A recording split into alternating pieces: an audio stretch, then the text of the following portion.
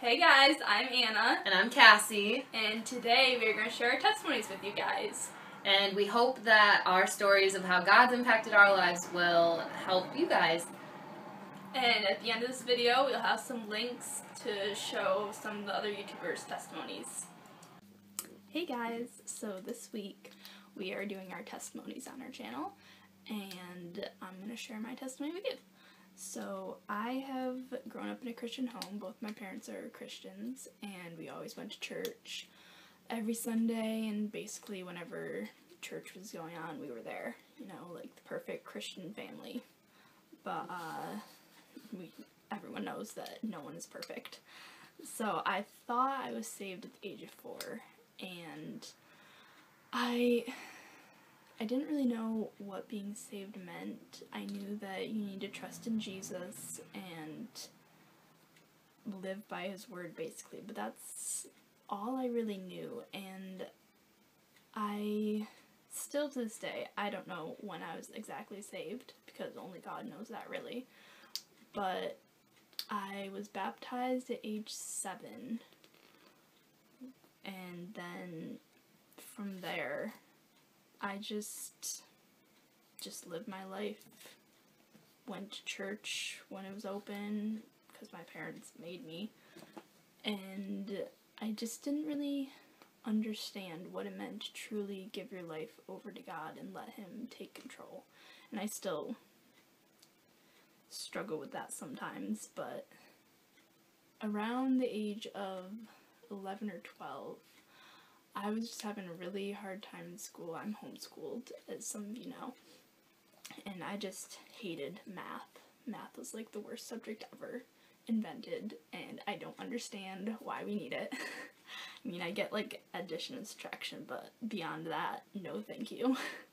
but I just got into this really bad place in my life, and I was just didn't want to be there anymore and didn't want to wake up. I just had a really hard time and I was having suicidal thoughts, but I was afraid of death. So it's kind of contradictory there. But I just was in a really bad place in my life and I didn't really know how to deal with that. I would read my Bible and, you know, I would read things like, you know, put your trust in God, He will lead you. And I just didn't really know what that meant. And I'd try to, I know, you know, I'd pray to Him, I'd be like, please help me get through this, blah, blah, blah. But I feel like I only prayed to Him when I needed something. And, you know, that doesn't always work. And God doesn't always give you what you want. So, you know, I got out of that spot, thankfully. And, you know, I got in a spiritual high for a little while. But, you know, with spiritual highs, you have lows too. So that was basically a roller coaster. I would, you know, go to youth events and seminars, and, you know, you'd get really into it then you get back home the next day and you're in the same spot. Nothing's changed at home. And so you don't really know how to go from there. And so I go to this camp called Camp Buca. I know Cassie talked about it a little bit. And I've gone, I went there for like 10 years from when I was like 9 until I was 18. And in 2014, I was uh, 17 years old and the uh, theme of that week was fearless, which is like perfect. and it was just talking about how we can be fearless for Christ and how He helps us get over our fears and really, um, really to put your trust in Him and our fear will disappear when we remember who God is. And so that week, I think it was a Tuesday, I put my faith in him. And I think from that point on, something did change in me. Nothing changed at home. You know, I still had problems, when you get saved, your problems don't go away. In fact, they usually get harder. But that's just because God knows how much we can handle. And He will help us through our struggles. And so it was hard coming home that week from camp because, you know, I had all this great gospel stuff all week at camp and then coming home and going back in the same routine, you know. It's just it's such a what is the word I want to use? It's such a reality check to come back into this world and see all the things that are going wrong and just all the people not living for Christ who say they are and it was just really hard. I tend to kind of ignore it and you know when when we're at camp, you know, you don't have your electronics or anything, and you know, you're in this atmosphere where everyone, just about everyone there is a believer. You know, you have chapel twice a day, and it's all great. And then when you come back home, you know, you go to church maybe once a week, and you don't have those friends and that atmosphere around you. And it's really hard because you need those types of people around. It's good when you have church members that you can turn to and get together during the week, but you know, everyone's busy in their lives. You don't have like 24 7 people there for you. And I really struggled with whether I was really saved or not. And I still struggle to it with it a little bit even to this day. I mean, I know I'm saved, but you know, the devil, he gets in there and he makes you think you're not. And I think one of the reason, one of the things to know you are saved is when you want to go to church or read your Bible by yourself. And that's what I came to the conclusion when I was saved. I was like, you know what? I don't want to do this for anyone else. I don't want to do it because my parents say so. I don't want to do it because my pastor says so. I want to get saved for me. And that's when I really realized that, you know, you need to do this for you and God. Like, He is the Savior and He is the King. Like, you need to be saved because if you're not, then you're gonna go to hell. And you really don't want to go there. And so I was like, you know what? I have to do this for me and I have to do this for God because I want to follow him and I want to obey him. And uh, one of the verses here that I want to share is in Matthew 5:16 and it says, "Let your light so shine before men that they may see your good works and glorify your Father which is in heaven." And that's one of my favorite verses. Probably a, a life verse, I would say. And it really speaks to me because, you know, in this world, there's a lot of darkness and there's a lot of sin. And we, as Christians, need to be lights in that darkness. And we have to be living by God's word and obeying it. God is really who he says he is, and that the Bible is true, and everything in it is true. And it's hard when, you know, your friends aren't believers and, you know, they do these things that you as a Christian wouldn't do. But we need to stand up for Christ and to really show people that we are different. And, you know, it's hard for some people. I know it's definitely hard for me. But, you know, we have to be lights in this world and uh, anyways uh yeah back to my fear thing you know i didn't get over i haven't really gotten over my fear of death it's definitely I definitely have not thought about it as much because I know that God is all powerful and, you know, when I die, we'll be going to heaven and I know heaven is going to be better than here. I just don't like going into the unknown because I like to know what's going to happen. I don't really know what's going to happen, so that's why I kind of have a fear of death. But, you know, I know God is here for me and, you know, He's gonna, He's gonna help me through that. And I think that is all. So, thanks for watching.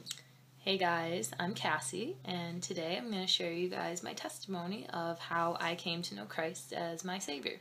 So, to start off, I was not raised in a Christian home like Anna was, or is, and uh, my parents were both raised Catholic, but they didn't raise my sister or I to really believe in anything or go to church or anything. So, I learned about Christ through my friend Abby and Anna and Anna's sister Shauna. They invited me to this church uh, camp called Camp Bayuka, and that's where I got saved. Um, I was 13, and it was a Tuesday. I don't know the exact date when it happened. I should have written it down, but I didn't. Um, but I remember the speaker was talking about um, if you were to die tonight, do you have that assurance that you're going to see God in heaven? And I did not. And so I was very convicted, and I was like, okay, I need to talk to someone. I need to get right with God and make sure when I die, I'm going to see Him. So I talked to my counselor that night, and she described being saved um, in a way is different.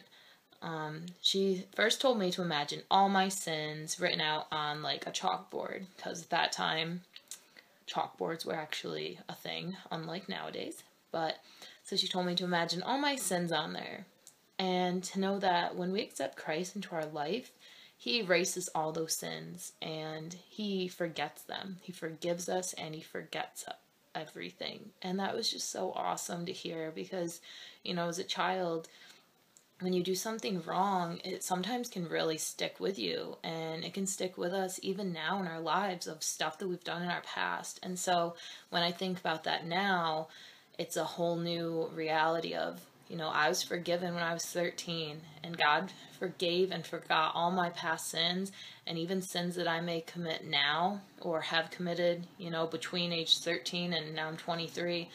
Um, like, that's all been forgiven and forgotten, and it's so awesome. And if God can forgive my sins and forget them, I don't need to bring them up either. So that was really cool. Um, so when I was 15, that's when I really got this like hunger and thirst to know God. Um, and it all kind of became full circle. Um, yeah, it was a Sunday morning and I was 15 and my parents asked, what do you want for your birthday? And I said, I want to go to church, you know, not a very ordinary thing to ask for, but so ever since then, I've been going to church, and it's the same church I go to today. I'm a member of there. I was baptized there. I hopefully will be married there someday.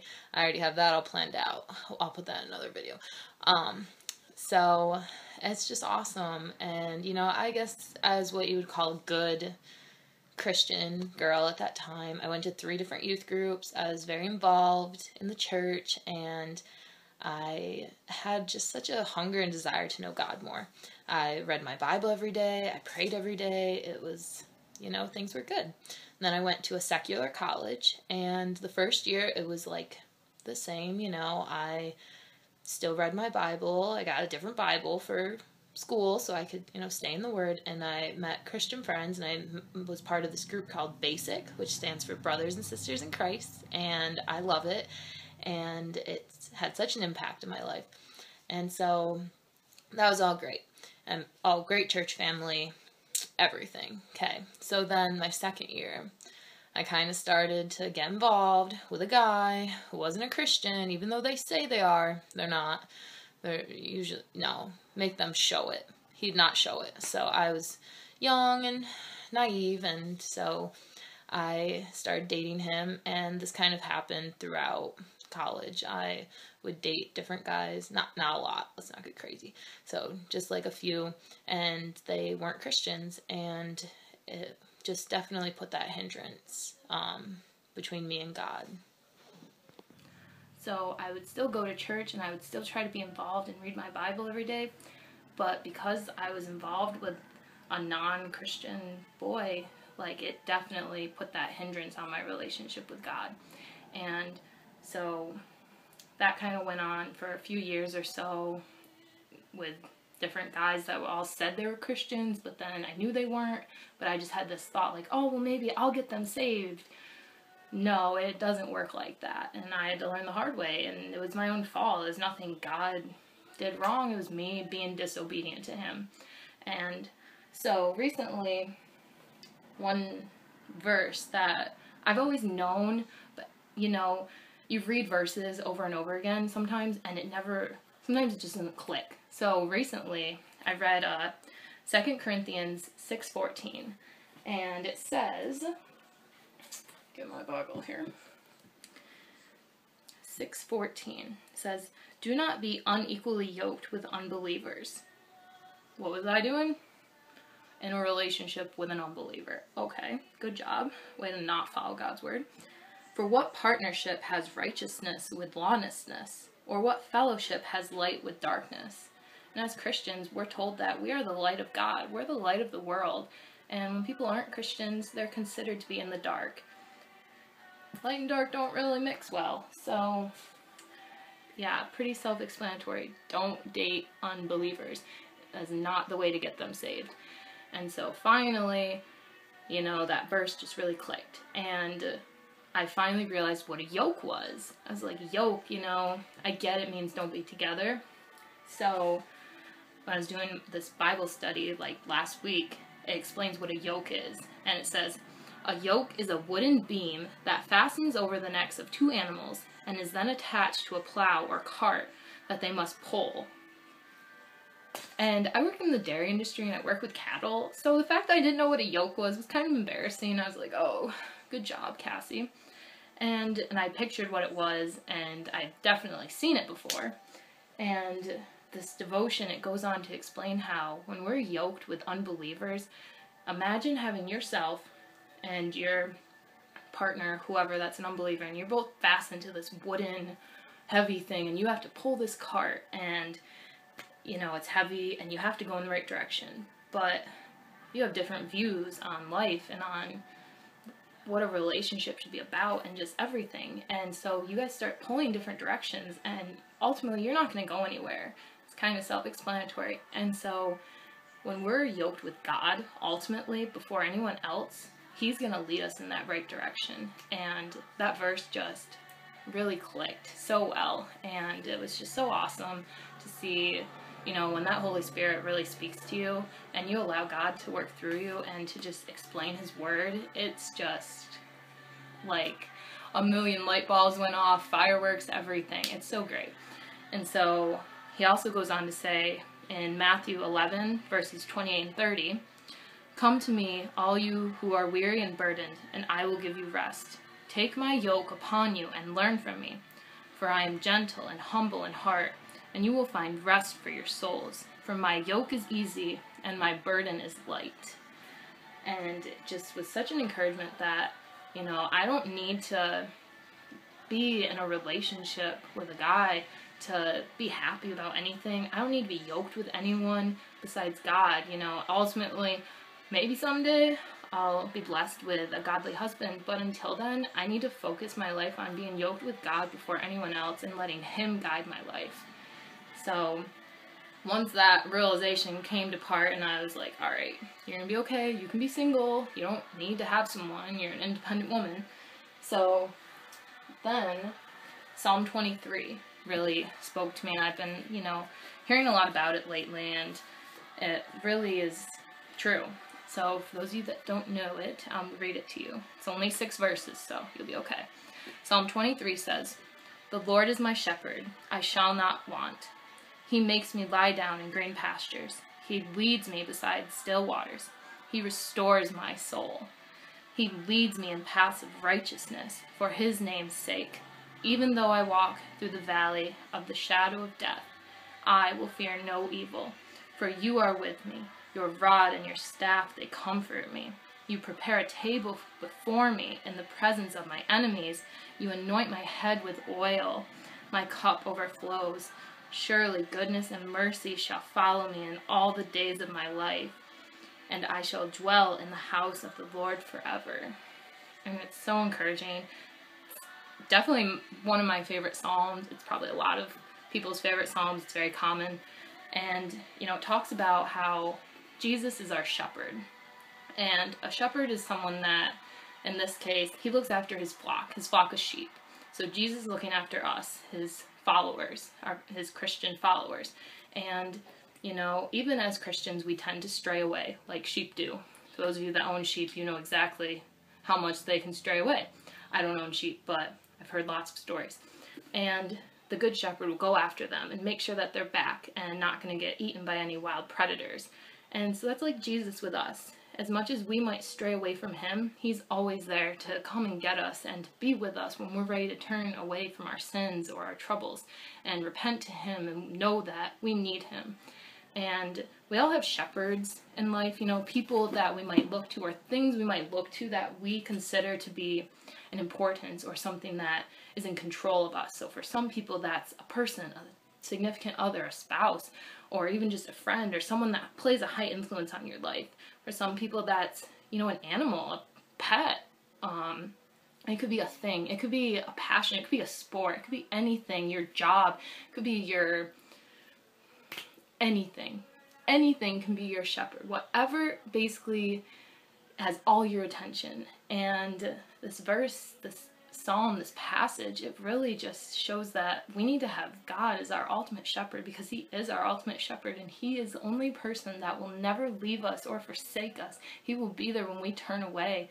And when we come back to Him, He is there with arms open wide. He loves us and He cares about us. And that is something that I came to realize throughout that time of being away from Him. And you know, I like to think like, no, I was still like a strong Christian but I definitely had one foot in the Bible and one in the world. And the Bible is pretty clear you cannot serve two masters. God is the ultimate master, and ultimately, He will win. If you are a true child of God, He is going to be there for you. He is going to pull you back in, and He is going to share His mercy and spread His mercy all over you because He loves you so much. And no matter how many times we may stray away, no matter how many times we make mistakes, He is so just to forgive us and quick to forgive us and love us. And if I encourage you guys with anything, it's to trust in Him. And even if you feel like you're so far away, like there's no way He's gonna forgive my sins, trust me, guys. If He can forgive someone like me, then He will forgive someone like you. And it's the easiest thing ever. And we're gonna share some links at the end that can show you guys, you know, how you can come to know Christ as your Savior and the steps taken to do that and we hope you enjoyed this video and subscribe and share your testimony below and leave some comments or anything. And we love you guys and God loves you and we're so happy to share this video and we hope you enjoyed it so thanks guys have a great day and happy Sunday. Hey guys, thanks for watching. We hope you enjoyed hearing our testimonies. If you want to share yours as well, go ahead and share that below. Um, also check out the links of how you can come to know Christ as your Savior, as well as some of some other YouTubers' personal testimonies. Make sure to like, comment, and subscribe. And uh, like Cass said, comment below. And tell us what videos you want us to do next week. Thanks. Thanks.